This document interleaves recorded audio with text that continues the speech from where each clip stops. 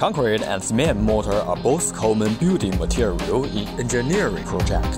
In this video, we'll talk about the differences between these two materials, including the raw material difference, water-cement ratio difference, strength difference, and different fields of application.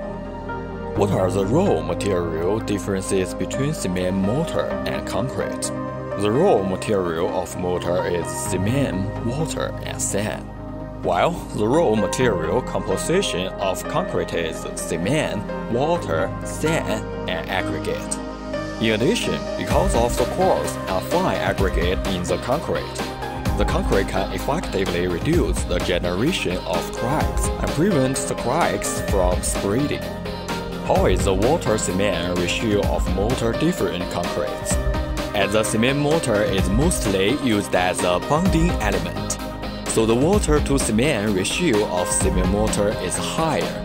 However, if the water cement ratio is too large, the strength of the cement mortar will be reduced, and loose cementage will appear on the surface.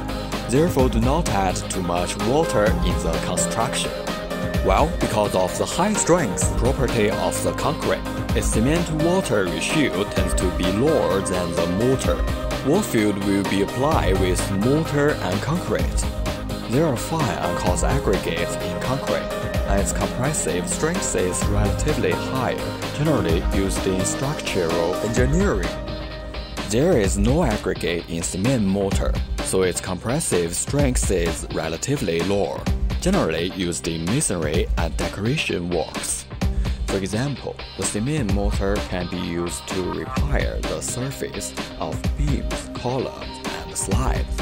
It can also be used as an adhesive for massive masonry materials. While the concrete can be used in bridge, highways, beams, etc.